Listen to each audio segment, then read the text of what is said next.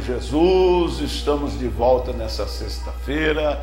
É, já estamos aí é, caminhando para mais um final de semana e nós estamos aqui para deixar uma palavra de Deus ao seu favor.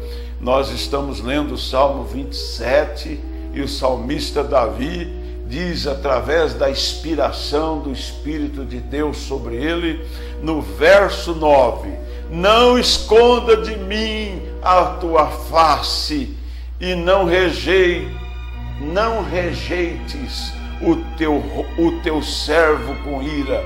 Tu foste a minha ajuda, não me deixes, nem me desampares, ó Deus da minha salvação.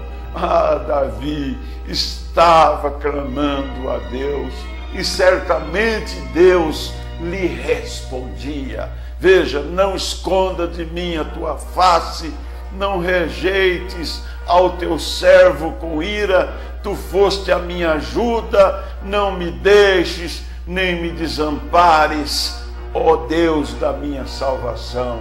Ele é o Deus da tua salvação. Ele é o Deus que te guarda, Ele é o Deus que te abençoa. Que tenha você um bom dia com Jesus, um bom final de semana, em nome de Jesus Cristo.